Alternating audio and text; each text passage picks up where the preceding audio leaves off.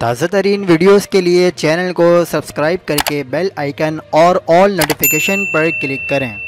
असलम हक पाकिस्तान न्यूज़ के साथ मैं हूँ मोहम्मद जुनेद असदी। सिंध मकरान के साहिली इलाकों में तूफ़ानी बारिशों का अलर्ट जारी। आपको बताते चलें कि महकमा मौसमियात के जारी किए गए अलर्ट के मुताबिक साइक्लोनिक स्ट्रॉम, गुलाब का बाकी मानपंदा हिस्सा, हवा के कम दबाव की सूरत में वस्ती भारत में मौजूद है। इसका रुख भारतीय गुजरात की जानब है, जो उनतीस या तीस सितंबर के दौरान शुमाल मशरक़ी बहर अरब में मुनासिब मौसमी सूरत हाल के बाईस दोबारा शिद्दत पकड़ सकता है। इस तूफ़ान के जेर असर कराची हैदराबाद, ठट्टा और मदीन में आज से 2 अक्टूबर के दौरान बारिशों का इम्कान है। इस दौरान तेज हवाएँ चलने और गरज चमक के साथ कहीं तेज और कहीं मौसधार बारिश होने का इम्कान है। 30 सितंबर से 3 अक्टूबर के दौरान समंदर में दुखियानी रह सकती है। इस दौरान माही गिरोह को समंदर में जाने ऐसी गुरेज करने की हिदायत भी जारी की गई है। तूफानी बारिशें कराची में अर्बन फील्डिंग का भी बाइस बन सकती है।